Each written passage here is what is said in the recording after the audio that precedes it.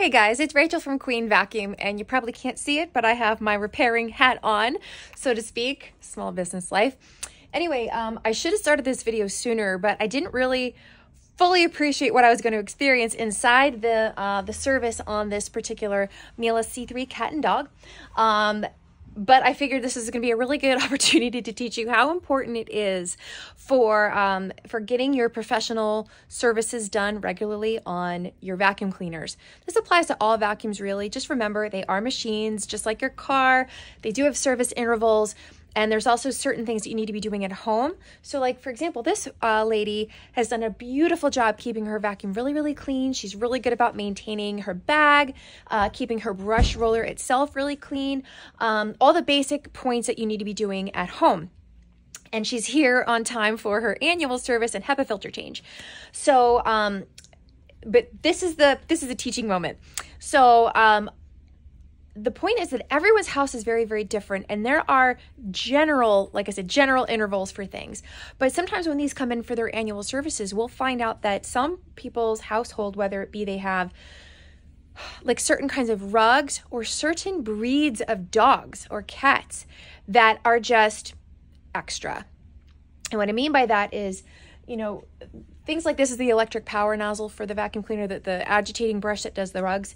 Um, there's going to be a certain amount of accumulation that happens, not just on the brush, but on the inside in the guts, like where the bearings are, like where the motor is, um, and the bearings of the brush roller. There's accumulation that happens, and typically it takes a few years to get enough accumulation. I mean, it's all protected, but little things sneak through uh, where it gets so much accumulation that it actually starts to impede the brush from spinning or even the motor from spinning. And these are engineered to uh, shut off, to shut themselves down, to protect themselves from overheating or when there's too much resistance, either on like a thick rug or maybe you're running it too low on a thick rug, or when there's too much buildup and it'll and it'll know to stop. So um, upon doing her normal service and general cleanup, I, we always test and inspect, and it was not really visible to the naked eye, but um, uh, what the problem was. But I noticed upon testing it that her uh, power nozzle was shutting off, like after just a few seconds of use. Uh, now, mind you, I was testing it on a lower carpet. Um, part of that was to help clean the brushes, bristle, bristles more, but I noticed it was shutting down. And if we didn't test and we just, you know, shipped it, that would have become a real problem later in the year for her and could have actually caused damage to the vacuum. So, this is what I'm getting at. Um, there was really no more that she could do or not that was like that she's allowed to do uh, for going in here, and I'll show you why. But this is where we come in and um, you know, the routine inspection that we do and the, the routine cleaning that we do every year for our customers who buy their vacuums here and get their HEPA filters done here, you get a free half an hour of what I'm doing right now to to look and test and inspect. And this means that we make sure that it's getting everything it needs, that it's working perfectly when you get it back, but also that um, we can see where we may need a tweak for your household. Again, everyone's different. Um, and sometimes needs will fluctuate throughout the year, but you may find that you can go to a little bit longer interval, but for some people, they need to have sooner intervals. It's just like with your car, the oil changes in your car. Uh, I use this analogy a lot, but it's you change your oil based on time or mileage. Mileage will use up that oil and, and cause debris and, and cause a cascade of problems if that oil isn't changed quickly enough based on excessive usage. So some people, they use there's way more hours a week per um, like than other people. And sometimes the surfaces or materials that they're picking up will accumulate faster or differently or more destructively than in other households. So that's why, especially the first year, this is her first year actually, um, the first year or two are the most important for getting in here taking that minute to drop it off for allow us to take our time and do a good inspection to see what we're dealing with and um, to go forward. So I won't bore you with too much more, but I just wanted you to see what we're dealing with. I went already and cleaned out her brush. There was a little bit of accumulation. That's not a big deal. Again, that's the part that you can clean out on your own. I have already taken this apart. There was just a lot of pet fur accumulated. And what was happening was um, here in the brush roller, this is the part where it kind of seats into the housing. Let me lift it up so you can kind of see. right? See where it kind of sits down in here. I call that like a cradle.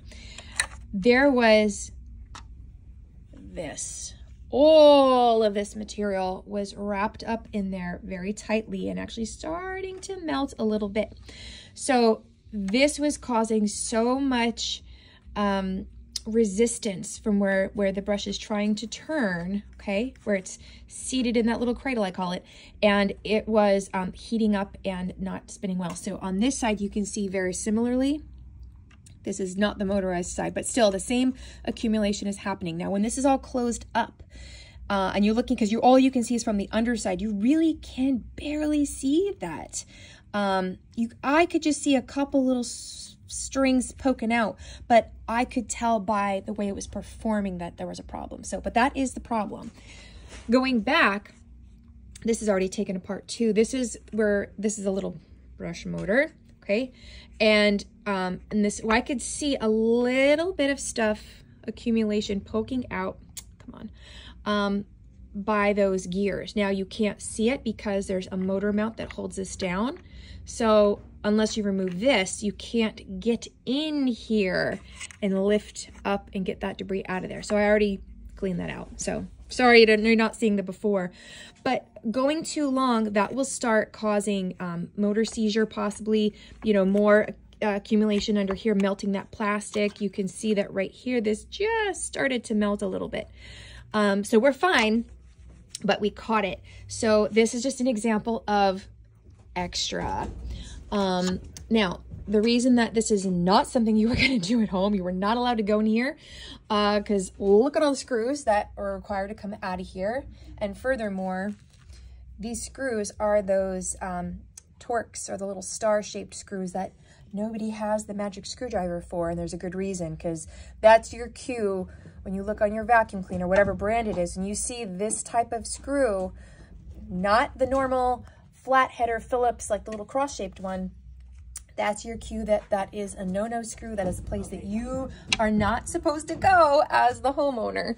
Um, that means this is a, something that only a professional can can deal with. So, um, and yeah, there, you know, you've got wires and a circuit board and all kinds of stuff that you should not be dealing with. So, so point is, this was not a huge deal. This is actually pretty easily um, remedied, but by us. So that is one of the 8 million reasons why it is really important to buy a really good product that is serviceable.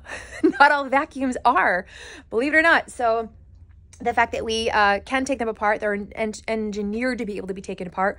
We have training resources to be able to take them apart. Um, that's a big deal. But um, for people that have bought their vacuums, so they're buying good vacuums in the first place. They're getting a vacuum that is appropriately equipped to tackle the things in their house, such as, I don't even know what breed of dog this is, but so that it's made for your house, it's set up for your house. Um, but that you also have servicers like us to actually back up the product and keep it maintained and keep it working properly and to make little tweaks and to educate you as the homeowner, the consumer, the user of this vacuum to educate it and tweak it more for your personal usage at home so that you get the max benefit out of it. So very long story, longer.